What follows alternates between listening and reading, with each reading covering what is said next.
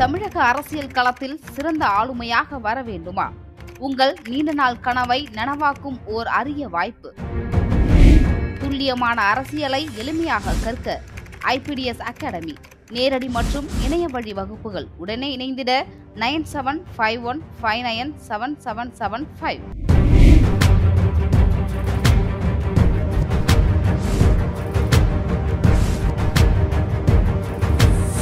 Vijay அவர்கள் நூறு தொகுதியை டார்கெட் வச்சு பணியாற்ற போகிறார். அப்படி இருக்கிற போது ஏடிஎம்கேயோடு விஜய் அவர்கள் கூட்டணி சேர்வதற்கு வாய்ப்பு இல்லை. இன்றைக்கு இருக்கிற சூழல் எடப்பாடி அவர்கள் முந்தைய விட செல்வாக்கு சரிந்திருக்கிறது நிச்சயமாக பாஜக அதிமுக பாமக தேமுதிக பொது தமிழ் அப்படி ஒரு அணி சேர்ந்தால் மாபெரும் ஒரு கூட்டணி கட்டமைப்போடு வெற்றி பெற்று ஆட்சி பிடிப்பாங்க. ஃபர்ஸ்ட் முதல்ல எடப்பாடி மனமாற்றம் ஏற்படுவாரா? ம- மயக்கத்திலிருந்து வெளியே வருவாரா? அப்படிதெல்லாம் பார்க்க வேண்டிய விஷயமா இருக்கு. எடப்பாடி திமுக வெறுப்போட்டி வாங்கி முதலமைச்சார்னு சொன்னா எம்எஸ் எல்லாமே நான் வாழ்ந்துடுறேன்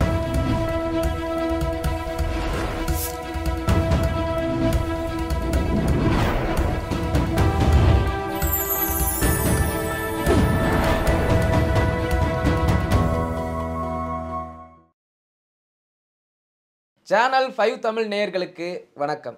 இன்றைய நேர்காணலில் நம்மோடு இணைந்திருப்பவர் ஐபிடிஎஸ் நிறுவனத்தின் தேர்தல் வியூக வகுப்பாளர் திரு திருநாவுக்கரசு அவர்கள் நம்மோடு இணைந்திருக்கிறார். வாருங்கள் அவரோடு பேசுவோம். சார் வணக்கம் சார். வணக்கம் என் தமிழ் தாய் உறவுகளுக்கு சார் இன்றைய அரசியல் சூழ்நிலையில் இப்போ அதிமுக செயற்குழு கூட்டம் நடத்துகிறாங்க இதில் எந்த மாதிரியான தாக்கம் ஏற்படும்? அந்த செயற்குழு கூட்டத்தில் எது நடந்தாலும் அதை எதிர்கொள்ள இபிஎஸ் தயாராக இருக்காரா? இபிஎஸ் தயாராக இருக்கிற ரெண்டு பேர் கூத்துவிட நீ கட்டவன் நான் கட்டவன் இப்போ கலந்தாய்வு கூட்டம் முடிஞ்சு இல்லையா இப்போ? தமிழ்நாடு முழு கலந்தாய்வு கூட்டம் முடிஞ்சு அதில் சில விஷயங்கள்லாம் கிடைச்சிருக்கும். அது சம்மந்தப்பட்டு விஷயங்கள் பேசுவாங்க. அப்புறம் அடுத்த கட்ட ரெண்டாயிரத்தி இருபத்தி எலெக்ஷனுக்கு என்னென்னலாம் பண்ணலான்ற விஷயங்களை பேசுவாங்க.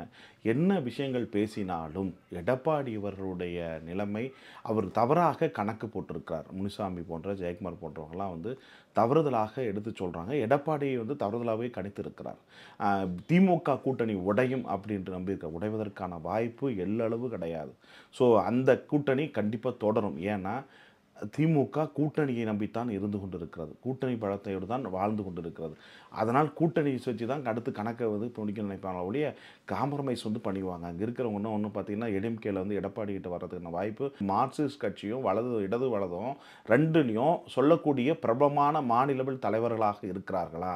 எப்போ ஆடிக்கும் அமாவாசைக்கும் ஒரு முறை ப்ரெஸ் மீட் கொடுக்கோ எங்கேயோ பேசக்கூடிய நபர்களாக இருக்கலாம் ஒழிய தினந்தோறும் அப்டேட்டில் இருக்கக்கூடிய தலைவர்களாக இந்த கட்சியில் இல்லை.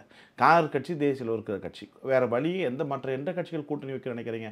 இப்போ ஆம்ஸ்டாம் கொலை வழக்கில் செல்வ பிறந்தகை ஏதோ முக்கிய குற்றவாளியாக இருப்பான்ற ஒரு சந்தேகம் எழ செல்வ பிறந்தகை வந்து பலவிதமான விதமான அஃபென்ஸில் ஈடு அஃபென்ஸில் தொடர்புள்ளக்கூடிய நபர். ஃபஸ்ட்டு விடுதலை சித்தைகள் இருந்தார். அதுக்கடுத்து வந்து இது காங்கிரஸ் கட்சிக்கு சென்றார். அந்த காங்கிரஸ் கட்சி பொறுப்பு வாங்கினதே பல குளறுபடி இருக்குன்னு சொல்கிறாங்க அப்புறம் போது அவரை வந்து எப்படி இங்கே வருவான்றது கேள்விக்குறி. திருமாவளவன் வந்து வரமாட்டார்.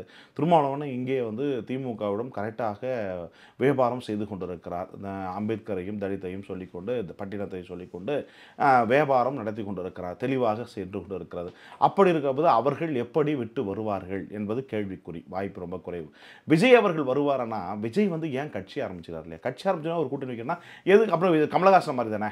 ஸோ அப்படின்னா அது சாத்தியக்கூறில்ல ஸோ அப்படின்னா கூட்டணி வைக்க வேண்டிய அவசியம் என்ன இருக்குது ஸோ விஜய் அவர் அவர்கள் வந்து ஏடிஎம்கேட கூட்டணி வைப்பது என்பது வாய்ப்பு ரொம்ப குறைவு. எனக்கு தெரிஞ்ச வட்டார அளவில் எனக்கு தெரிஞ்ச அவன் தொடர்புலேயே சொல்லப்படுதுன்னா விஜய் அவர்கள் நூறு தொகுதியை டார்கெட் வச்சு பணியாற்ற போகிறார் அப்படின்ற செய்தி அவர்களிடம் இருக்கிற நெருங்கிய நண்பர்கள் சொல்லப்படுற தகவலாக இருக்கிறார் அப்படி இருக்கிற போது ஏடிஎம்கேயோடு விஜய் அவர்கள் கூட்டணி சேர்வதற்கு வாய்ப்பு இல்லை.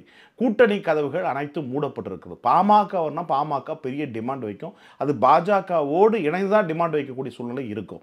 அப்படி இருக்கிற போது இன்றைக்கு இருக்கிற சூழ்நிலை எடப்பாடி அவர்கள் முந்தைய விட செல்வாக்கு சரிந்திருக்கிறது.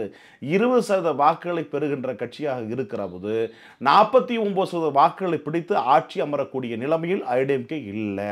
எடப்பாடியுடைய கட்டமைப்பு சரிந்திருக்கிறது. இதே நிலையில் தொடர்ந்தால் இதே மனப்போக்கத்தில் சென்றால் எடப்பாடி அவர்கள் நான் மட்டும்தான் கட்சியினுடைய பொதுச்செயலாளர் என்ற கற்பனையில் இருந்தால் நிச்சயமாக ரெண்டாயிரத்தி மண்ணை கவ்வது உறுதி. ஆகவே இவர் மனமாற்றம் ஏற்பட வேண்டும். அதாவது இந்த கட்சி எம்ஜிஆர் ஜெயலலிதாவால் உருவாக்கப்பட்ட இயக்கம் வளர்த்த இயக்கம் அதில் நமக்கு ஒரு வாய்ப்பு கிடைத்துக்கிறது பெருக்கின்றோடு பெருக்கின்ட்டு சொல்கிறோம்னு சொல்லிட்டு நம்மளும் நாட்டுக்கு எதை முடியாது சீட்டு பண்ண நினச்சாங்கன்னா ப்ராக்டிக்கலாக நல்லது. அதை விட்டு மொத்தத்தையும் நான் தான் சொல்லணும் நம்ம தாண்டி யாரும் வரக்கூடாது நினைக்கிறது தப்பு. ஜனநாயக நாட்டில் அப்படி வளர முடியாது. அது அவர் ஆரம்பிக்கப்பட்ட கட்சியும் அல்ல. அப்புறம் ஓபிஎஸ்ஓ சசிகலாவோ தினகரனை இணைத்துக் கொண்டால் அது ஒரு பலம். அந்த பலத்துக்கு அவர் தயாராக இல்லை. அவர் என்றைக்கும் ஏற்றுக்கொள்ள தயாரில்லை அதுக்குள்ளே என்ன பிரச்சனை சொன்னால் மறுபடியும் அவன் வந்துட்டானா அவங்களுடைய ஆதிக்கம் வந்து கை வாங்கிவிடும் அவங்களுடைய கை வாங்கி விட்டுரும் மறுபடியும் நம்ம வந்து பழைய மாதிரியே நிலைமையாக போயிடுமே. அதனால் வந்து நம்ம அது போகக்கூடாத நிலைமையில தெளிவாக இருக்காங்க. அப்படின்னா சசிகலா தினகரன் ஒன்று சேர்வதற்கான வாய்ப்பு வாய்ப்பே இல்லை. ஸோ அதுக்கடுத்து வேறு யார்? ஓபிஎஸ் வந்து சேர்த்துக்கிறதுக்கும் வாய்ப்பு குறைவு. அப்படி இருக்கிற போது எடப்பாடி அவர்கள் எப்படி ரெண்டாயிரத்தி இருபத்தில் முதலமைச்சர் ஆவார்? வாய்ப்பே இல்லை. அங்கே இருக்கிற தங்கமணி வேலுமணி எல்லாரும் பாஜகவோட கூட்டணி வைத்து கூட்டணி வைக்கும் போது நம்ம பண்ண மிகப்பெரிய தவறு. பார்லிமெண்ட்டில் வச்சுருந்தா நம்ம இன்றைக்கி ஒரு கௌரவமான வெற்றியை பெற்றுக்கலாம். நம்ம ஒரு ஒரு தொடக்கமாக இருந்திருக்கோம் ரெண்டாயிரத்தி இருபத்தாறுக்கு அதை தவறி விட்டோம் அவருடைய முடிவு எடப்பாடியுடைய முடிவு தவறுதலாகி விட்டது என்ற ஒரு பிரச்சனையும் இருந்து கொண்டிருக்கிறது ஓடிக்கொண்டிருக்கிறது. இந்த புகசல் ஆரம்பித்து விட்டது. இது ஒரு ரெண்டு மூணு மாதத்தில் ஜனவரி மாதத்துக்குள்ளே முடிக்கு வந்துடும் அப்படிப்பட்ட சூழ்நிலை இருக்கிற போது எடப்பாடி அவர்கள் தங்கமணி வேலுமணி போன்ற அவர்கள்லாம் வந்து விலகிட்டாங்கன்னா அவருடைய நிலம் என்ன ஆகுது? ஸோ ரெண்டாயிரத்தி இருபத்தாறை பொறுத்தவரை மனமாற்றம் ஏற்பட்டு கூட்டணி ஆட்சிக்கு தயாராக வேண்டும். முதல்ல அவர் மனமாற்றம் ஏற்படுவார்? கூட்டணி இருந்தால் தான் அதிமுக ஆட்சி பெற முடியுமா? வாய்ப்பே இல்லை. அந்த அந்த செல்வாக்கை இழந்து விட்டது. ஜெயலலிதா அம்மையாரோடு போய்விட்டது. இதுக்கு பின்னாடி எடப்பாடி அவர் தெற்கு தென் மாவட்டங்களில் வந்து இப்போ ஏடிஎம்கேக்கு வந்து வெற்றி வாய்ப்பு ரொம்ப இல்லை. ஓட்டு ஃபுல்லாக பிரிச்சுடுவாங்க பிரிச்சுட்டாங்கன்னா எப்படி வந்து வெற்றி முதலமைச்சர் ஆடுவார் சொல்லுங்கள் இந்த பக்கம் மேற்கு மண்டலம் ஃபுல்லாக பாஜக ஓட்டை பிரிக்கிறது. ஓட்டை பிரிக்கிற போது எப்படி வந்து இந்த இடத்துல ஏடிஎம்கே ஆட்சி பிடிக்க நினைக்கிறீங்க? சும்மா சிம்பிளாக நான் சொல்கிறேன் அதுக்குள்ளே நிறைய விஷயங்கள் இருக்குது அப்புறம் எப்படி பிடிக்க முடியும் நினைக்கிறீங்க? ஸோ இங்கே பாஜக தயவை நாடையணும் அப்படின்னா பாஜக கூட்ட கூட்டணிக்குள் ஆட்சி கூட்டணி ஆட்சி வருவதற்கான அஸ்திவரத்தில் பாஜக இருக்கும் என்று ஒரு ஐய உணர்வு இருக்கிறது. அந்த உணர்வு அடிப்படையில் சொல்கிறதுன்னா நிச்சயமாக பாஜக அதிமுக பாமக தேமுதிக பொது தமிழ் இப்படி ஒரு அணி சேர்ந்தால் மாபெரும் ஒரு கூட்டணி கட்டமைப்போடு வெற்றி பெற்று ஆட்சி பிடிப்பாங்க. இது பாஜக ஒரு ஐம்பது சீட் அறுபது சீட்டு பிடிச்சி வலுவான ஒரு தமிழகத்தில் இருந்து அடுத்து ரெண்டாயிரம் ரெண்டாயிரத்தி முப்பத்தொன்னில் ஒரு ஆட்சி பிடிக்கக்கூடிய அளவுக்கு அண்ணாமலை அப்போதும் ரெண்டாயிரத்தி முப்பத்தொன்னு அண்ணாமலை தான் பாஜக தலைவராக இருந்து முதலமைச்சர் வேட்பாளராக ஆகக்கூடிய முதலமைச்சர் ஆவதற்கான வாய்ப்பு இருக்கிறது. அதிமுக அதிமுக இருக்கும் பட்சத்தில் இது நடக்கும்னு நினைக்கிறீங்க. இது இதோட கடை எடப்பாடி இந்த இதுதான் எண்டு இதுதான் கடைசி அடுத்து அடுத்து வந்து கிடையாது. கூட்டணி அமையாதுன்னு சொல்றீங்க. அதிமுக விசிகாவோ இல்ல மதிமுகவோ இல்ல காங்கிரஸோ வராதுன்னு சொல்றீங்க. ஒன்றை விட ஒன்று சிறந்தது தானே அவங்களோட அதிக மதம் கொடுக்குறாங்கன்னா வரத்தானே செய்வாங்க? கூட்டணி தானே? வரமாட்டாங்க. இங்கே வரமாட்டாங்க. அதாவது சீட்டு கம்மியாக கொடுத்தாலும் கொடுக்க வேண்டிய சூட்கேஸை வைட்டமினை கரெக்டாக கொடுத்துருவாங்க திமுக. ஏன்னா இன்னைக்கு வந்து பார்த்தீங்கன்னா ஏடிஎம்கேல வந்து சின்ன பிரச்சனைனா அம்மையார் இருந்தபோது கூட கட்சி நிதி கொடுக்கப்பட்டாங்க. இன்னைக்கு கட்சி நிதி கொடுக்கப்படலை. இன்னொரு விஷயம் இங்கே இருக்கிற அமைச்சர்கள்லாம் சமாளிக்கப்பட்டாங்களே செலவு பண்ணுறதுக்கு தயாராக இல்லை. அந்த சமாளிக்கப்பட்ட பணத்தெல்லாம் அமுக்கு தான் பதுக்கு தான் பார்க்குறாங்களே கட்சி வந்து இன்வெஸ்ட் பண்ணி இது பண்ணுறதுக்கு தயாராக இல்லை. அப்படியேப்பட்ட சூழ்நிலை போய் எடப்பாடி மட்டுமே செலவு பண்ணுறது வந்து கேள்விக்குரியாது இதெல்லாம் பிரச்சனை சேருக்குள்ளே வெடிக்கும். ஏன்னா ஒவ்வொரு டிஸ்ட்ரிக்ட் மா மா அமைச்சராக இருந்தபோது நீங்கள் ஏன் அதை வந்து ஜெயிச்சு கொடுக்கணும்ல? ஏன் ஜெயிச்சு கொடுக்கணுன்ற விவாதங்கள்லாம் வரும். இதுக்கெல்லாம் என்கார்டு வந்து கடைசி முடிவுக்கு வரும்போது அடுத்த தேர்தல் ரெண்டாயிரத்தி இருபதுக்கு யார் பலியாடு? ஸோ அப்படி பலியாடாக இருக்கிறனா யார் இன்வெஸ்ட் பண்ணுறது முன்ன முன்ன இதுக்கு முன்னாடிலாம் பார்த்தீங்கன்னா ஜெயலலிதா அம்மையார் வந்து ஒரு ரெண்டாயிரம் கோடி மூணாயிரம் கோடி ரூபா பணத்தை எடுத்து வச்சிரும் முதல்ல. எடுத்து சூக்கேஸை வச்சுட்டு அதுக்கிட்ட தேர்தலை தேர்தலை பற்றி யோசிக்கும். அந்த மாதிரி ஒரு கேரக்டர் படைச்சவங்க அம்மாயார் அவர்கள் பொறுத்தலை அம்மா அவர்கள். அப்படி தான் தேர்தலை கண்டஸ்ட் பண்ணாங்க. அப்படின்ற போது இங்கே வந்து ஒரு இன்னைக்கு இருக்க சொல்லணும் ஒரு அஞ்சாயிரம் கோடி ரூபா செலவு செய்யறதுக்கு யார் தயாராக இருக்கா? ஸோ அப்படி இருப்போம் எல்லாரும் சேர்ந்துனா செலவு பண்ணோம். எல்லாரும் சேர்ந்துனா சமாளிக்கப்பட்டாங்க எட்டு ஆண்டுகளாக செல்லூர் ராஜா ஆகட்டும் வீரமணி ஆகட்டும் வேலுமணி ஆகட்டும் தங்கமணி ஆகட்டும் இருக்கிற எல்லா மணிகளும் மணிகளுக்கு மேலே இருக்கிற அத்தனை நபர்களும் சமாளிக்கப்பட்டாங்கல்ல அவர்களெல்லாம் ஒன்று சேர்ந்து இன்வெஸ்ட் செஞ்சால் தானே ரிசல்ட்டை கொடுக்க முடியும். அப்படி ரிசல்ட் கொடுக்குற இன்வெஸ்ட் பண்ணுறதுனா கூட்டணி கட்டமைப்பு வலுவோம்ல கூட்டணி கொண்டு வட்டம் கூட்டணி கட்டமைப்பு இல்லைன்னா எப்படி வெற்றி நினைக்கிறீங்க? அது சாத்தியக்கூறு கம்மி. அப்படின்ற போது ஏடிஎம்கே வந்து பாஜக தயவை நாட வேண்டிய சூழ்நிலை இருக்கிறது. இல்லை பாஜக வேணாம் அப்படின்னு நினச்சாங்கன்னா நிச்சயமாக பாஜக தேமுதிக என்டிஏ கூட்டணி ஸ்ட்ராங் ஆச்சுன்னா எடப்பாடி ஆட்சி வருவதற்கான வாய்ப்பு ரொம்ப குறைவு. ஸோ இதுதான் நாளைக்கு நடக்க போகிறது ஆகவே ரெண்டாயிரத்தி இருபத்தாறை பொறுத்தவரை பாஜகவுடைய நட்போடு கூட்டணி ஆட்சி வைப்பதற்காக மனமாற்றம் இது ஏற்படுவாரா அண்ணா எடப்பாடி? பாஜகவை தாண்டி விஜயை நாடிட மாட்டாரா? விஜய்லாம் வாய்ப்பே இல்லைங்க. எங்கள் கட்சி விஜய் வந்து கட்சி ஆரம்பிச்சா எதுக்கு கூட்டணி வைக்கணும்? அப்புறம் என்னங்க வித்தியாசம் இருக்குது திமுகவுக்கும் அதிமுக என்னங்க வித்தியாசம் இருக்குது விஜய் என்ன சொல்ல போறாரு? என்ன மாற்றத்தை கொடுக்க போறாரு? என்ன மாற்றத்தை சீர்திருத்தப்படுறதுக்காக கட்சி ஆரம்பிச்சிருக்காரு? அப்புறம் எப்படி வந்து இங்கே லாஜிக் என்ன லாஜிக்கில் கேட்குற ஏடிஎம் கூட கூட்டம் வந்துடும்னு கேட்குறீங்க அப்புறம் என்ன என்ன நோக்கத்தை கட்சி கட்சி ஆரம்பிக்க அவசியம் ஆரம்பிக்க வேண்டிய அவசியமே இல்லையே. இல்ல நீங்க சொல்ற உங்க பாண்டிகளா தான் வரும்போதே நல்லதுன்னு சொல்ல நல்ல வரும்போது ஜெயிச்சுட்டு அப்புறம் மக்கள் நல்லது செய்யட்டும். அதை ஏடிஎம் கூட கூட வச்சுட்டு போலாம்ல விஜய்? அதாவது ஒரு கட்சி ஆரம்பிச்சிட்ட போது விஜய் அவர்கள் ஆரம்பிக்கிறாருன்னா அவருக்கான பலம் என்ன பலவீனம் என்ன எவ்வளோ ஓட்டு வங்கி இருக்குன்றதை பார்க்க தான் செய்வாங்க. அது பார்க்காம கூட்டணியோட வரமாட்டாங்க. கூட்டணி வருகிற போது வந்து அவர் கட்சி ஆரம்பிக்க வேண்டிய அவசியமே இல்லை. ஏற்கனவே பல கட்சி இருக்கு. அவங்க எலெக்ஷன் கண்டஸ்ட் பண்ணி போவாங்களே. நீ என்ன மாற்றத்தை கொடுக்க? மாற்றத்தை கொடுக்க வேண்டும் நோக்கத்திற்காக தான் ஆரம்பிக்கப்பட்ட கட்சி தான் விஜய் அவர்கள் கட்சி ஆரம்பிச்சிருக்காரு அப்படின்ற போது எப்படி எடப்பாடி வருவாங்க? சாத்தியக்கூறு அப்புறம் நீ ஊழலுக்கும் கரப்ஷனுக்கும் கலெக்ஷனுக்கும் குடும்ப அரசுக்கும் இதெல்லாம் இல்லாமல் புதுசாக மாற்ற வேண்டும் புதியவர்கள் பிறக்க வேண்டும் எதிர்கால இளைஞர்கள் கையில் ஆட்சி போகணும்னு சொல்லக்கூடிய விஜய் அவர்கள் இன்றைக்கு எப்படி எடப்பாடி கிட்ட போயிட்டோம்னா அவருடைய நோக்கம் சித்தாந்தம் அழிந்து விடுது இல்லையா? ஸோ அதுக்கான சாத்தியக்கூறே இல்லை. கற்பனையில் யுகத்தில் கூட யோசிக்க வேண்டாம். விஜய் அவர்கள் எடப்பாடியோடு சேர்வது மிக மிக கடினம். வாய்ப்பு ரொம்ப குறைவு. அப்படி இருக்கிற போது விஜய் அவர்கள் ஒரு போட்டியாக இருக்கிறார். சீமான ஒரு போட்டியாக இருக்கிறார். கிட்டத்தட்ட நான்கு முனை போட்டியாக இருக்கிற போது பல வகைகளில் வாக்குகள் சிதற சிதறுகின்ற போது அப்படி இருக்கிற போது இன்றைக்கு நாடாளுமன்ற தேர்தலில் இல இஸ்லாமியர்களும் கிறிஸ்துவர்களுடைய வாக்குகள் நான் ஏடிஎம்கேக்கு செல்லாத போது இன்றைக்கு எப்படி வந்து இன்னைக்கு வந்து எடப்பாடிக்கு வந்து நினைக்கிறீங்க? ஸோ அப்படின்னா வந்து இங்கே இங்கே எப்படி அண்ணா எடப்பாடி வந்து பெ- பெரிய கூட்டணி கட்டமைச்சுடுவார் ஸோ வாய்ப்பு கேள்விக்குறி தானே? அப்படி இதை இதை பற்றி சித்தாந்தம் இருக்கிற அமைச்சர்கள் வேணும்னு தாங்க இப்படிலாம் யோசிக்க மாட்டேன் நினைக்கிறீங்களா? ஸோ யோசிப்பாங்க. அப்படி யோசிக்கிற போது அதுக்கு எடப்பாடி மனமாற்றம் வரலன்னா வெற்றி பெற முடியாதப்ப எப்படி இன்வெஸ்ட் பண்ணுவாங்க? தேர்தலுக்கு வந்து க கப்பம் கட்டணும் இல்லையா? செலவு இது போய் ஆரம்ப இது இருந்து பணத்தை செலவு பண்ணணும்ல. அப்படி செலவு பண்ணுறதா ஜெயிக்கிறதுக்கு செலவு பண்ண தோக்கத்துக்கு எது செலவு பண்ணுவாங்க? சார் அரசியல் வெளியே பேசுறதெல்லாம் விஷயம் வேறு. உள்ளுக்குள்ளே பேசுகிறேன்னா நான் ஜெயிக்கிறேன்னா அடுத்து லாபி மினிஸ்டர் அடுத்து இதுக்காக தான் இன்வெஸ்ட் பண்ணி பத்து எம்எல்ஏ இருபது எம்எல்ஏ ஐம்பது எம்எல்ஏ அவங்க தலைமை ஜெயிக்க வச்சு ஆட்சி பிடிச்சி இது பண்ணுறதுக்காக தான் இன்வெஸ்ட் பண்ணுவாங்க. அப்படி ஜெயிக்கிறது தானே பண்ணுவாங்க தோக்கத்தானே இது பண்ணுவாங்க?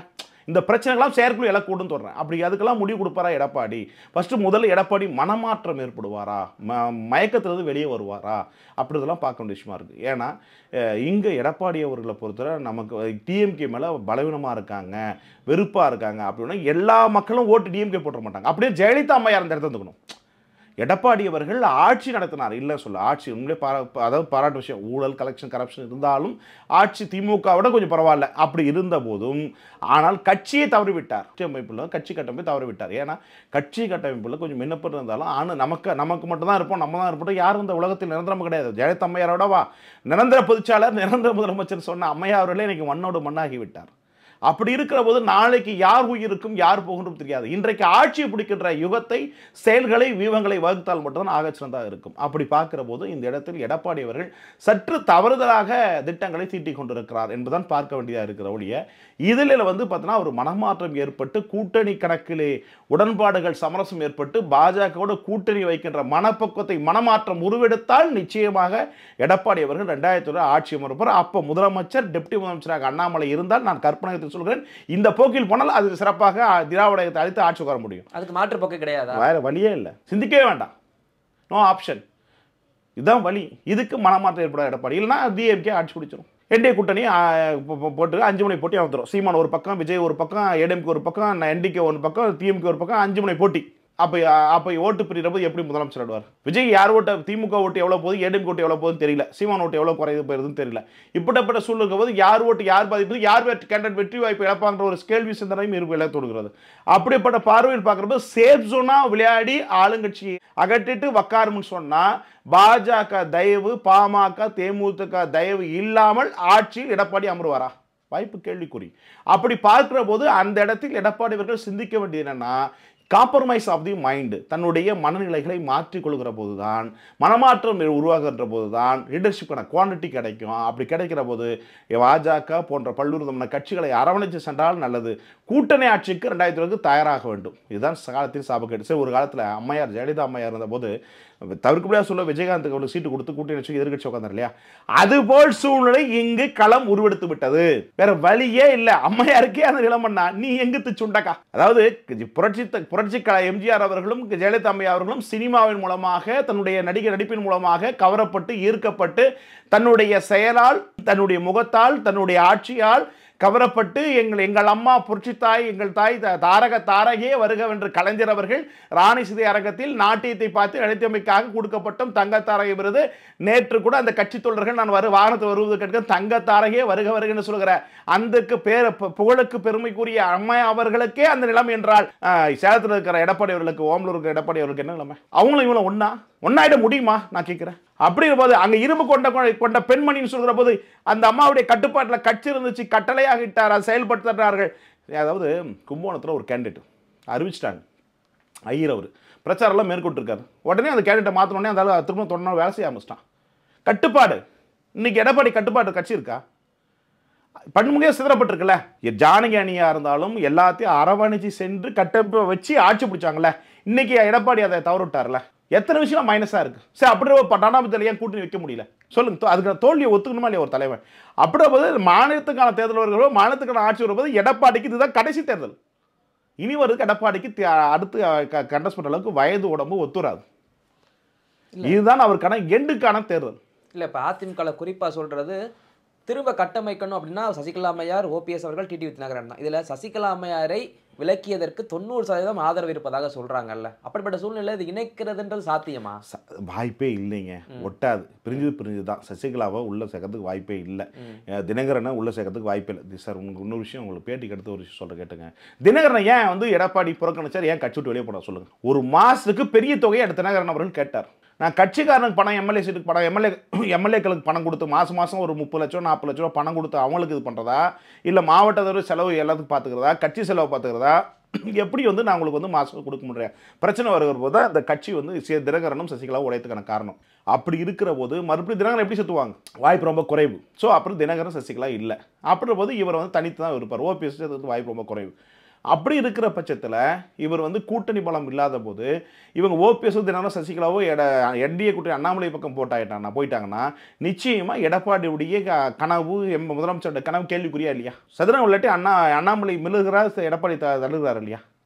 இதை காப்பாற்றணும்னா என்ன பண்ண முடியும்? ஸோ தன் சமூக தன் இனத்தை சேர்ந்த என் சொந்தக்கார எடப்பாடி அவர்களும் என் சொந்தக்கார அண்ணாமலை அவர்களும் மனமாற்றம் ஏற்பட்டு எடப்பாடி அவர்களுடைய மனம் ஏ மாற்றம் ஏற்பட்டு அண்ணாமலை அரவணைத்து கொண்டு சென்றால் நிச்சயமாக சிஎம் அப்படி சிஎம்னா கூட்டணி ஆட்சி தான் நடக்கும். இல்ல வியூகங்கள்ல மிளிக்கிறான்னு சொல்றீங்க அண்ணாமலை. எடப்பாடி அவர்கள் கிரவுண்ட் லெவலிருந்து வந்தவர். அதாவது கிளை செயலாளர் ஆரம்பிச்சு இன்னைக்கு முதலமைச்சர் இடத்தை பிடிச்சவர் அவர். அவருக்கு தெரியாத அந்த பாலிடிக்ஸ் அண்ணாமலைக்கு தெரிஞ்சது கிரவுண்ட் லெவலு சதுர லெவலில் வட்ட லெவலாம் அதெல்லாம் காலம் அந்த காலங்க. இன்னைக்கெல்லாம் அப்படி இல்லை. சரி ரைட் நான் கேட்குறேன். கிரவுண்டில் சொல்கிறீங்களே இன்னைக்கு கேரளாவில் கம்யூனிஸ்ட் கட்சியும் காங்கிரஸ் கட்சிக்கு இணையான க இணையை தாண்டி யாருமே உள்ள நுழைய விட மாட்டாங்க. அந்த இடத்துல பாஜகன்னு நிறைய சதவீதங்களை ஓட்டை வாங்கி ஒரு எம்பி வந்துச்சா இல்லையா? மற்ற எம்பிகளும் நெக்டு நெக் வந்தாங்க இல்லையா?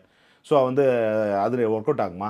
சரி அரவிந்த் கெஜ்ரிவாலுக்கும் வந்து பார்த்தீங்கன்னா பஞ்சாப்லேயும் அங்கே பஞ்சாப்ல வந்து பாஜக காங்கிரஸ் வலுவான இயக்கம் கிரவுண்டில் இருக்கிற அந்த இடத்துல எப்படி அரவிந்த் கெஜ்ரிவால் விரல விட்டு வந்துட்டார் சொல்லுங்கள் டெல்லியிலேயும் அதே மாதிரி தான் இருந்துச்சு. எப்படி வந்து அரவிந்த் கெஜ்ரிவால் வந்துட்டார்? அரசியலில் எப்பப்போ மாறுன்னு யார் கையிலையும் கிடையாது. அப்படிங்கிற போது அந்த நிலைமை மாறிவிட்டது. திமுக அதிமுகன கிளைகள்னு சொன்னது மாறிவிட்டது மறிவிட்டது. தொண்டர்கள் குறைந்து விட்டார்கள். அரசியல் மீது ஆர்வம் குறைந்து விட்டது. இருக்கிறவங்களும் நம்பிக்கை இழந்து விட்டது. அப்படிப்பட்ட சூழ்நிலை இருக்கிற போது காசு கொடுத்தா கூட்டம் சேர்த்து கூட்டத்தை காட்ட வேண்டிய சூழ்நிலை இருப்பதனால ஓட்டு வங்கி குறைந்து இருப்பதனால இதெல்லாம் நாளைக்கு எப்படி வரும்னு சொன்னால் கூட்டணி பலம் இல்லாமல் எடப்பாடி முதலமைச்சர் ஆக முடியாது. இதுதான் இதுக்கு ஃபேக்ட் ஆனா செல்லூர்ராஜ் என்ன சொல்றாருன்னா முன்னாள் அமைச்சர் சொல்றாரு அண்ணாமலை தலைமையை ஏற்று அவருக்கு சீட்டு வாங்கி நாங்க ஜெயிக்கணும் அப்படின்னா அது நாங்க நாண்டுகிட்டு சாகிறதுக்கு சமம் சொல்றாரு. அரசியல் அப்படிதான் சொல்றது. நாளைக்கு வந்து அப்படியே மாற்றி சொல்லுவாங்க. அண்ணாமலை அவர்கள் தான் சரியானவர். இந்த கூட்டணி தலைமையர்னு சொல்லுவாங்க. சார் அரசியல்வாதிங்க பேசுறது இன்றைக்கு தண்ணீர் எழுத வேண்டிய விஷயம். இன்னைக்கு பேசுவாங்க நாளைக்கு மாற்றி உயிரை விடுற அளவுக்கு பேசுறாரு. அது அப்படிதான் சொன்னா நம்புவீங்க. நான் நான் ஒரு அரசியல் வந்து என்ன சொல்லுவேன்னா தற்கொலையும் இல்லை. எங்கள் வாழ்க்கையை எழுந்துட்டு போட்டு கூட சொல்லுவாங்க. உணர்ச்சிகளை வந்து சொல்ல தான் செய்வாங்க. அது உண அது அரசியல் என்பது உணர்ச்சி வசப்படுவது பேச்சுக்கள் என்பது உணர்ச்சி வசப்படுவது உரையாடல் கலை உணர்ச்சி வசப்பட்டது பேசுகின்ற போது உணர்ச்சி இருந்தால் மட்டும்தான் அது உயிரூட்டம் கொடுக்கும் பேச்சு கலைக்கு அருமையாக இருக்கும். அது அல்ல.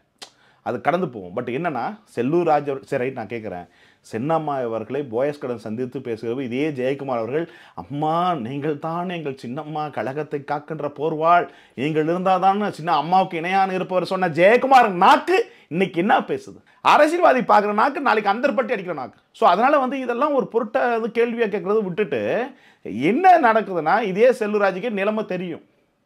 சரி அப்படியே இப்போ மதுரையில் வந்து ஏன் சீனிவாசன் வந்து அந்த தொகுதிக்கும் அது அளவு சம்மந்தம் இல்லை விருதுனா இருக்காரு? அப்படி இருக்கிற போது ஒரு தெலுங்கர் அப்படின்ற போது அந்த இடத்துல ரெண்டாவது இடத்தை பிடிக்கிறார். அதை விட கேவலம் என்ன இருக்கு? மூணாவது இடத்துக்கு ஏடிஎம்கே போதுனா அதை விட கேவலம் என்ன? அப்போ செல்வராஜ் என்ன பண்ணார்?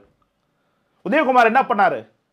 ஒரு காலத்தில் எம்ஜிஆர் ஜெயலலிதா அம்மையார் இருந்தபோது பஸ் ஸ்டீடு கூட காசு இல்லாத வக்கலாத உதயகுமார் அந்த இன்னைக்கு வரவேற்றது பலாயிரம் கோடிகளை சமாளித்த உதயகுமார் அந்த தொகுதியில் என்ன பண்ணார்? அந்த ஜாதி ஓட்டு ஒர்க் அவுட் ஆச்சா? அப்புறம் மூணாவது இடத்துக்கு ம- முதல் இடைக்கடை முச்சங்கண்ட மதுரையில் அதிமுக வலுவான கோட்டையில் மூணாவது இதை விட வெக்கம் கட்டி இன்னொன்று சிந்திக்கலாம் அவன் என்ன தலைவன்?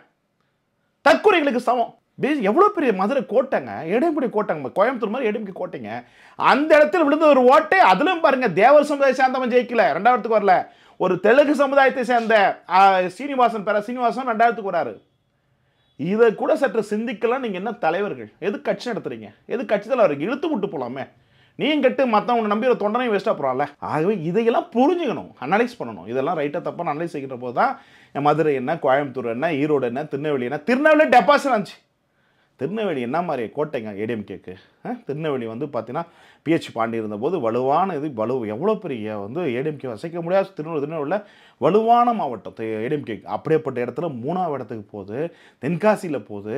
எத்தனை இடத்துல வந்து இது இதுக்கு மேலே தானே சிந்திக்கலன்னா அவங்க என்னத்தை திராணி சொல்லுங்கள் ஸோ அந்தளவுக்கு தேமுதிக வந்து அப்போ அந்த அளவுக்கு கூட இல்லையே இந்த இந்தளவுக்கு பலம் வந்திருக்குல்ல? ஸோ அப்படின்னா இங்கே பதினோரு பர்சன்ட்டாக இருக்கிறது நாளைக்கு பதினெட்டு பர்சன்ட்டாக மாறுகிற போது அண்ணாமலை அவர்கள் டெல்லிக்கு லண்டனுக்கு சென்று மறுபடியும் வந்துட்டு ஆக்டிவ் பாலிட்டிக்ஸ் இறங்குற போது இன்னும் கொஞ்சம் நல்லாவே வியூ வந்து பண்ணாங்கன்னா ஒரு பதினெட்டு பர்சன்ட் ஓட்டு வந்துட்டாங்கன்னா அந்த இடத்தில் நிச்சயமாக அடுத்த அடுத்த வருஷம் ஜனவரி மாதம் இருக்கிற போது அந்த வருஷம் ரெண்டாயிரத்தி இருபது ஜனவரி மாதம் வருகிற போது எடப்பாடி மனமாற்றம் மாறாதுன்னு நினைச்சிருக்கு நாற்காலிக்காக மனமாற்றம் ஏற்படாதுன்னா அவர் தலைவனே இல்லை. ருசி நாற்காலின்ற ருசியை புரியாதவன் அப்புறம் தலைவனா என்ன பிரயோஜனம் உனக்கு நான் கடைசி சந்தர்ப்பம் எடப்பாடி அண்ணாமலைக்கு வயசு இருக்கு. மோடியோ அமித்ஷாவோ நட்டாவோ எல்லாமே தேசியத்தில் நம்புறாங்க. செல்லப்பிள்ளையா பார்க்குறாங்க ஏன்னா பாஜக வடநாட்டுக்கான கட்சி தென்னாட்டுக்கான கட்சி அல்ல அப்படி சொல்லுகிற போது தெலுங்கானாவில் வந்து எத்தனை சதவீத சீட்டுகள் வாங்கியிருக்கிறது ஆந்திராவில் என்ன வாங்கியிருக்குது கர்நாடகாவில் வாங்கியிருக்கு கேரளா வாங்கியிருக்கு தமிழ்நாடு அப்படின்னா விடுவாங்களா ஸோ அப்படியே தமிழ்நாட்டுக்கு ஒரு குறி வச்சுட்டாங்க. அந்த குறி அண்ணாமலைன்ற குறி. அண்ணாமலை தலைமையில் நிச்சயமாக வருங்காலத்தில் ரெண்டாயிரத்தி முப்பத்தொன்னிலே ஆட்சி அமைக்கக்கூடிய வியூகத்தை வகுத்துட்டான்னு நான் யோசிக்கிறேன். நான் பார்க்குறேன். இல்லை நீங்க சொல்கிற அந்த நபர் ஆர்பி உதயகுமார் நேற்று சொல்லியிருக்காரு. அண்ணாமலை அவர்கள் தமிழகத்திற்காக நல்லது செய்ய வேண்டும் என்று நினைத்தால் பதவியை ராஜினாமா பண்ணிட்டு போங்கன்னு சொல்றாரு. இதில் உள்ள சூச்சமம் என்ன? அவர் விலகிட்டு ஒருத்தன் பிடிக்கல. கடுப்புல சொல்றாங்க. அவர் விலகிட்டா அண்ணாமலை இப்படி பதவி விலகி போக சொல்றாரு? பதவி விலகிட்டா பாஜக கூட சரி இதே உதயகுமார் நான் கேட்குறேன் ஆம்னி பஸ்ஸில் பஸ் டிக்கெட் கூட கஷ்டப்பட்டு வந்த உதயகுமார் மறுபடியும் அதே நிலைமைக்கு போக முடியுமா? நான் கேட்குறேன் நக்கல் விக்கல பேசக்கூடாது. இதே உதயகுமார் இப்போ ஆம்னி பஸ்ஸுக்கு பஸ் டிக்கெட் கொடுக்காம ஏன் அந்த பஸ் பஸ் டிக்கெட் பஸ் ஏற்றி விட்ட அந்த பேர் வரை நான் சொல்லவா? வக்கில்லாத திராணியில்லாத அடுத்த சட்டு போடலாத அளவுக்கு இருந்த உதயகுமார். இன்னைக்கு எப்படி வந்து பலாயிரம் கோடி உதயகுமாரை திமிரு வந்துச்சா நீ என்ன நிலையில் வந்த? தகுதி என்ன நிலையில் உருவெடுத்த? இன்னைக்கு மதப்பில் சமாளிச்சோடனே மதப்பில் பேசக்கூடாது. இன்னைக்கு நீ எடப்பாடிக்கு உண்மையாக இருக்கியா? நீ சார்ந்த இயக்கத்துக்கு உண்மையாக இருக்கியா? உனக்கே நீ உண்மையில்லாத தலைவன். ஸோ இவங்களாம் போலி தலைவர்கள். அப்படி ஒரு போலி தலைவர்கள் உண்மை தலைவனை பற்றி பேசக்கூடாது. ஒரு நல்லவனை பல பேர் கெட்டவனாக சொல்வார்கள் ஒரு மனிதன் மனசில் இன்னைக்கு வாழ்க்கையில் இருந்து ஒரு மனுஷன் வாழுகிற போது அவன் என்னதான் வாழ்ந்தாலும் அவன் நன்மையானவன் நேர்மையானவன் நல்லவன் சொல்ல மாட்டாங்க. இறக்கும் போது தான் அவன் நல்லவனான்னு கெட்டவனான்னு சொல்லக்கூடியது அது உலக நீதி. அப்படி வாழுகின்ற போது அதுவும் அரசியன்ற ஒரு சதுரங்க விளையாட்டு இருக்கின்ற போது ஒருத்தர் ஒருத்தரை வந்து வளர்ச்சி கெடுக்கின்ற வளர்ச்சி வந்து கூடுகின்ற போது எப்படி ஏற்றுக்கொள்வார்கள்? ஸோ டிமாண்ட் வந்து ஆகுதுல்ல. ஸோ அப்படின்ற போது அது இறக்க வாய்ப்பு இருக்கான்ற போது இப்படிலாம் கடுப்பில் பேச தான் செய்வாங்க. அது இல்லைன்னா அரசியல் கிடையாது. இது அரசியல் இது அப்படி இதெல்லாம் இருந்தால் தான் அரசியல். சரி இல்லை இப்போ அதிமுகவில் பெரும்பாலும் எடப்பாடி அவர்களுக்குனா ஒரு பக்கம் கவுண்டர் சமுதாயம் இருக்கு பேக்ல இன்னொன்னு வன்னியர்களுக்கு பத்து புள்ளி சதவீதம் கவுண்டர் சமயம் இருக்கா? அதோடைய பெரும்பலமாகத்தானே எடப்பாடி அதெல்லாம். முடிஞ்சு போச்சு. அண்ணாமலை அந்த பிறகு முடிஞ்சு போச்சு. அண்ணாமலை இருந்தாலும் இன்னும் பலம் இருக்குல்ல. அவருக்கு எடப்பாடின்னு பெயர் இருக்குல்ல. பெயரை வச்சுட்டு நாக்களிக்கவங்க நீங்கள் வேறு ஏங்க கேட்குறீங்க அதாவது அண்ணாமலைக்கும் எடப்பாடியும் ஒரு இனத்தில் கொ- மேற்கு மண்டலத்தில் கொங்கு பெல்ட்டில் வந்து உருவெடுத்திருக்காங்க. ஸோ அப்படின்ற போது இளைஞனை பார்ப்பாங்களா? வயசான கிழவனை பார்ப்பாங்களா? அனுபவம் தேவையில்லையா அதுக்கு? அனுபவத்துக்கு குப்பையில் போடுங்க. யாருங்க அனுபவம் வச்சுருக்கா? யாருக்கு அனுபவம் இருக்குது அரசியலில் அனுபவம் இருக்காங்க. அரசியல்னா என்ன சொல்லுங்க? அரசியல்னா என்ன? தமிழ்நாட்டு அரசியல்னா என்ன? சொல்லுங்க. தமிழ்நாட்டு அரசியல்னா என்ன? கொள்கை சொல்வது கொள்ளையடிப்பது. அதான் அரசியல். அது அது ஒரு அரசியலா? எடப்பாடி கீழேருந்து மேலே வந்தானா கரெக்டாக வசூல் பண்ணி கரெக்டாக அம்மா கொடுத்தாங்க. அதில் நாணயத்து நாணயத்தோடு இருந்தார். அதனால் வச்சுக்கிட்டாங்க. இதே மூணு கிலோ தங்கமும் ரெண்டாயிரத்தி ஐநூறு கோடி ரூபாய் அந்த சின்னம்மா சொன்னவொடனே மறுநாளே அம்மா பணம் அந்த சின்னம்மா அந்த அம்மையார் சொன்னாங்கிறதுக்காக மறுநாளே ரெண்டாயிரத்தி ஐநூறு கோடி ரூபாய் கொடுக்குற அளவுக்கு தகுதி இருக்குன்னா எப்படி கான்டாக்ட் பேஸ் தானே? சும்மா வந்து முதலமைச்சர் ஆயிட்டாரா தன் பின்னாடி என்ன என்ன நம்மளை வந்தோன்றது யோசிக்கணும் அது யோசிக்க வந்த பிறகு தலைவனை உட்காந்த பிறகு பழசு மறந்துடக்கூடாதுங்க. தன்னிலை உணராத விக்ரமாத் என்ன என்னானாரு அது? மாதிரி எடப்பாடி தன் நிலையை உணராமல் திணறுகிறார் பிதறுகிறார் தான் நான் சொல்றேன். இல்ல ஏதோ ஓரளவிற்காவது கவுண்டர் சமுதாயம் ஒன்று இருக்கிறது. பத்து புள்ளி சதவீதம் வன்னியர் இடஒதுக்கீடு. அதுலேயும் ஓரளவுக்கு இருக்கிறது. அவர் முழுவதுமாக அப்படி அப்படி இருந்தா ஏன் வந்து தருமபுரியில் மூணாவது போச்சு? தமிழகத்திலே அதிக மக்கள் தொகை கொண்டது வணிக வன்னியர் சமுதாயம் அதிகமாக இருக்கிற தருமபுரி. அந்த தருமபுரியில் ஏன் மூணாவது இடத்துக்கு எடுக்க சென்று சொல்லுங்க. பாமக என்ற ஒரு பெரும் பலம் கொண்டவங்க போட்டிக்கிடுறாங்க வன்னியர் சமுதாயத்தை சேர்ந்தவங்க. ஜாதி கட்சிங்க. பாமக? நான் உங்க கேள்விக்கு வரேன் சார். நீங்க திசை திருப்புறீங்க. நீங்க அறிவாளி நான் அறிவாளின்றப்ப விஷயம்னா நான் அறிவாளி. அதாவது நீங்க சொன்ன விஷயம் என்ன சொன்னீங்கன்னா பாமக வன்னியர் பெல்ட்ல சொல்ற போது நான் சொல்லுறேன் இதே வன்னியர் பெல்ட் தருமபுரியில ஏன் ரமணாவரத்துக்கு போச்சு? அதெல்லாம் போலின்னு சொல்ல வர அதாவது இதெல்லாம் ஒவ்வொரு எலெக்ஷனுக்கும் ஒரு மாதிரி மாறும். அப்படி இருக்கிற போது எடப்பாடி அவர்கள் அரவணைச்சி கூட்டணி அதாவது அண்ணா வந்து மத்தியில கூட்டாட்சி மாநில சுயாட்சி நிலைமை இருந்தது. அந்த அண்ணா என்ற பெயர் வைத்துக் கொண்ட திமுகவும் அதிமுக செய்த பித்தாட்டங்கள் அவர்கள் செல்வாக்கு சரிந்ததனால் மற்ற செல்வாக்கு உயர்ந்தனால் இப்போது அண்ணா சொல் அறிந்தது. இப்போது மா மத்தியிலும் கூட்டாட்சி மாநிலத்திலும் கூட்டாட்சி என்ற நிலைமை இன்றைக்கு உருவெடுப்பதற்கு காரணம் இந்த இரு கட்சியினுடைய கேவலங்கள் ஆட்சி முறைகேடுகள் செயல்பாடுகள் பொலிட்டிக்கல் நடத்துகிற வீதங்கள் குறைபாடாக இருந்த காரணத்தினால் மாற்று கட்சி தலைவர்கள் உருவெடுத்ததனால் இந்த வளர்ச்சியினால் மனமாற்றம் ஏற்படுமா? எடப்பாடி நான் ஒரு லெசனே சொல்கிறேன் இதை கூட புரிஞ்சுக்கணும்னா தமிழ்நாட்டு அரசு என்ன இருக்கு? இல்ல நீங்க சொல்றபடி பலம் இல்லைன்னு சொல்லிட்டீங்க கவுண்டர் சமுதாயத்திலும் மன்னியர் சமுதாயத்திலும் இல்லைன்னு சொல்றீங்க எக்ஸாம்பிள் சொல்லி. இந்த முக்குளத்தூர் சமுதாயத்துல என்ன மாதிரியான ஒரு வீக்னஸ்ல இருக்குன்னு நினைக்கிறீங்க பாத்து அதிமுக? குரூஸ் ஆரம்பத்துலேருந்தே வீக்னஸ் எடப்பாடி எடப்பாடி. விட்டாங்க எடப்பாடி எப்பயே ஏங்க யாரை கண்ணு தெரிஞ்சு ஓபிஎஸ் கழட்டி விடுவாங்களா தினகரன் கழட்டினா சசிகலா கழட்டணும் இவங்களாம் முக்கில் வச்சு பொழப்பு போட்டவங்க ம். காலகாலத்துக்கு கட்சியை ஆட்சி பிடிச்சவங்க. அப்படின்ற போது அவங்கள கன்சிடர் பண்ணோம்ல. அதாவது இன்றைக்கு அரசியல் தமிழக அரசியலே வந்து சில கொள்கைகள் சில கோட்பாடுகள் சொல்லி ஏதோ சீட்டிங் பண்ணி ஏமாற்றி பண்ணி திமுக எப்படி நீட்டு தேர்வு நாங்கள் வந்து வந்த உடனே கையெழுத்து போடுவோம் அப்படின்னு சொல்லி இன்றைக்கி வந்து செங்கலை காட்டு கையெழுத்து போட்டு நீங்கள் ஏமாற்றி விட்டாங்க. அது மாதிரி ஏதோ ஆயிரம் பொய்யக்கிய சொல்லி ஆட்சி பிடிச்சது அப்புறம் சம்மாரிக்கிறது இதுதான் தமிழ்நாட்டுடைய அரசியல் ஃபார்முலா ஏடிஎம்கே டிஎம்கே மாற்றி மாற்றி பண்ணிட்டு இருக்குது. அப்படிங்கிற போது நீ நீ வந்து நாட்டு மக்கள் நேர்மையான ஆட்சி கரப்ஷன் இல்லாத ஊழல் இல்லாத ஆட்சி கொடுக்க போகிற கிடையாது. அப்படின்ற போது எல்லாம் காமனாக ஏற்கனவே குப்பை கொட்டும் தான் குப்பை ஓட்ட போகிறீங்க அப்படின்ற போது அவங்களும் சேர்த்து குப்பை ஓட்டு போகிறாங்க நாளுக்கா சமாளிச்சு போகிறாங்க என்ன தப்பு இருக்குது நீ மட்டும் சமாளிச்சு என்னட்டு போகிற அளவுக்கு மிஞ்சி சமாளிச்சிட்டிங்க. இதுக்கு மேலே ஆட்சியை கொஞ்சமாவது கன்சிடர் பண்ணி நூற்றுக்கு ஒரு ஐம்பது சம்மதம் உண்மையாக பண்ணிட்டு போங்க. அதான் அரசியல். அந்த அரசியலுக்கு நான் பண்ண மாட்டேன். நான் அப்படின்னு பிடிவாதம் பிடிச்சா எப்படி எப்படி? ஸோ எடப்பாடி என்ன அப்புறம் நான் முதலமைச்சர் ஆகி அப்படியே ஹண்ட்ரட் பர்சன்ட் அக்யூரன்சி கவர்மெண்ட் எடுத்து போகிறா ஒத்த பைசா கை நீட்டி வாங்காத மக்களுக்காக எட்டு கோடி மக்களுக்காகவே உண்மையாக இருக்கிற முதலமைச்சர் இருப்பார் நினைக்கிறீங்களா? அப்புறம் எதுக்கு அரசியலுக்கு வராங்க? அப்புறம் ஏடிஎம் கிளியாக வச்சுட்டாங்க. கரெக்டாக வசூல் பண்ணி கொடுக்கலாம் தான் சின்னம்மா அந்த அம்மையார் ஆகட்டும் ஜெயலலிதா அம்மையாகட்டும் அந்த எடப்பாடி வச்சுக்கிட்டாங்க. எல்லாம் தத்தி விட்டுருப்பாங்க. அப்புறம் என்ன பேசுறீங்க? அவர் எப்படி வந்தாருன்னு சொல்கிறாங்க கீழேருந்து வந்தவன கீழேருந்து என்ன வந்துட்டாரு? கீழேருந்து வந்து மேலே வந்து கரெக்டாக பணத்தை கொடுத்தாரு. அதெல்லாம் இருந்துக்கிட்டார் தக்க வச்சுட்டாரு மற்றவெல்லாம் கொடுப்பான் திருடுவோம் வேலுமணி ஏன் கட்சி விட்டு நிற்கிறாங்க மறுபடியும் ஏன் சேர்த்துக்கிட்டாங்க ஒழுங்காக நடக்கல நியாயமாக நடக்கல. வசூல் வேட்டையை கரெக்டாக பண்ணி கொடுக்கல. அதெல்லாம் கட்டி விட திருப்பி சேர்த்துக்கிட்டாங்க இல்லை எல்லாமே அப்படி கரெக்டாக இருக்காங்களா? இது அரசியல் உங்களுக்கு சாக்கடை அதுக்குள்ளே அப்படியே போச்சு. அதான் பெரியவங்க சொல்லுவாங்க இது அரசியல் சாக்கடைன்னு சொன்ன உண்மைதான். இல்லைன்னு சொல்ல அந்த சாக்கடையில் வந்து நம்ம ஏதாவது வந்து காலை கழுவிட்டு வெளியே வரணும் அவ்வளோதான் அப்படி பார்க்குறபோது இந்த ரெண்டாயிரத்தி இருபது தேர்தலை பொறுத்தவரை திமுக என்ற இயக்கம் மீள வேண்டும் சொல்கிறது. குடும்பத்தின் குடும்பத்தின் ஆட்சியிலும் மீள வேண்டும் சொல்லணும்னா நிச்சயமாக இந்த இடத்தில் கூட்டணி ஆட்சிக்கு மட்டும்தான் சாதிக்க உண்டு நான் சாதிக்கிறே இல்லை. நான் சொல்கிறது கொஞ்சம் உங்களுக்கு கூட கஷ்டமாக இருக்கிறோம் பார்க்குறோம் கூட ஒரு மாதிரி நினைக்கலாம். ஆனால் நாளை நடைபோக போவது இதுதான். இதை ஓகே தான் அரசியல் செல்லும் என்று நான் யுகத்தில் சொல்கிறேன். சார் நீங்கள் ஆயிரம் கருத்துக்கள் சொல்லும் பட்சத்தில் கூட முன்னாடி ஓபிஎஸ் அவர்கள் தர்ம யுத்தம் நடத்தும் போது இருந்த அந்த செல்வாக்கு இப்போது கிடையாது. சசிகலா அம்மையார் சிறை செல்லும் போது இருந்த அந்த செல்வாக்கு இன்னைக்கு கிடையாது. ஆர்கே நகரில் டிடி வித்யநகரன் ஜெயிக்கும் போது இருந்த அந்த செல்வாக்கு இன்னைக்கு கிடையாது. அப்படி இருக்கும்போது இன்றைக்கு தனி செல்வாக்கு பதினெட்டு சதவீதம் அதிமுக எடப்பாடி வாங்கியிருக்காருன்னா இந்த இடத்துல அவர் நிக்கிறார் தானே? எங்கே நிற்கிறாரு இவங்களை தாண்டி. ஓமலூரில் வீட்டில் வேணா நிற்கிறான்னு சொல்லாது. எங்கே நிற்கிறான்னு சொல்லாதீங்க. அதாவது ஒவ்வொரு காலகட்டத்திலும் ஒவ்வொரு சூழ்நிலைகளை கொண்டு வரும். அதாவது காலங்கள் வந்து அப்பயும் இப்பயும் ஒப்பிட்டு பார்க்க வேண்டாம். அப்படி சொன்ன திமுக வந்து ஒரே ஒரு எம்எல்ஏ பரிதி எழுதி போனார். எதுக்கு அப்புறம் அதுக்கடுத்து ஆட்சி நிற்க போனீங்க பத்து பத்து வருஷமா ஆட்சியில் அப்போ திமுக அப்போ பிடிக்கலையா? குறுக்கோடியில்?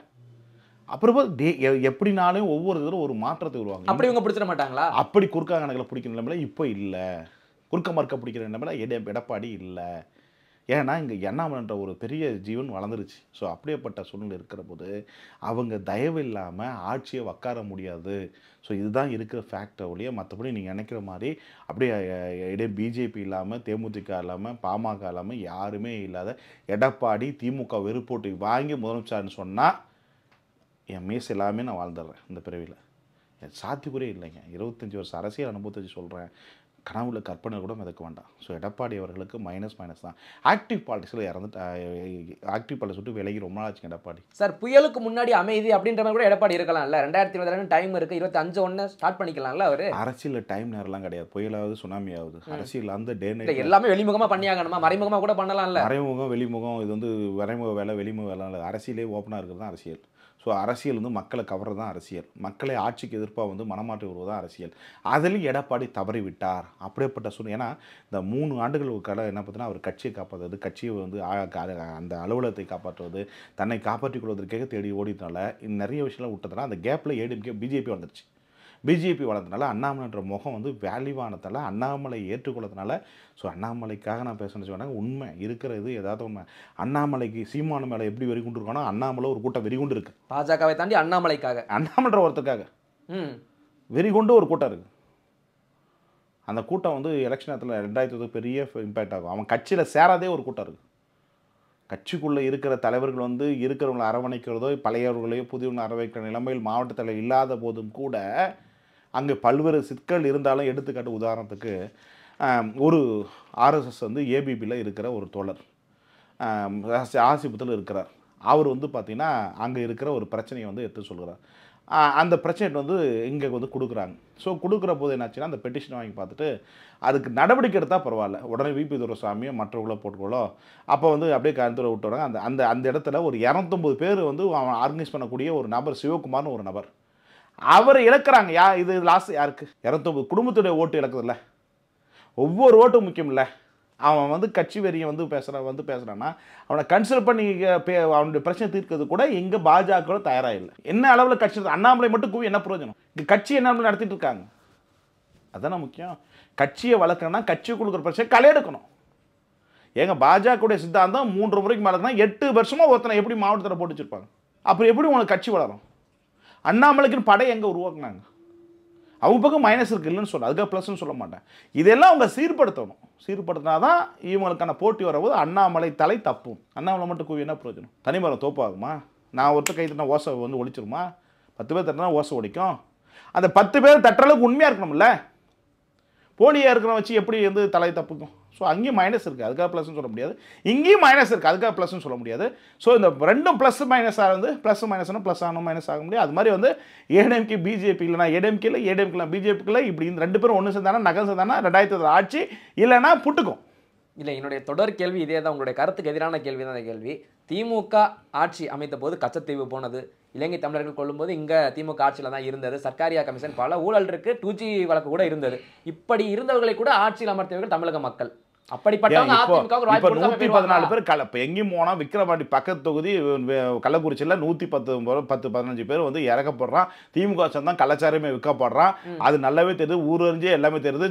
கல்வராயன் மலையில் கலாச்சாரம் தான் தொழிலே எழுபது ஆண்டுகளாக வித்துனுக்கிறான் பெரிய நெட்ஒர்க் இருக்கு? பத்து மாவட்டம் சப்ளை பண்ணிட்டு இருக்கான் அது நல்லாவே தெரியும் உழுத்துப்பட தெரியும். ஏன் என்ன பண்ணுச்சு இந்த ஆட்சி? ஸோ பக்கத்தில் ஓட்டு போட்டு அதுக்கும் அரசியல் வெற்றிக்கும் சம்மந்தம் இல்லை.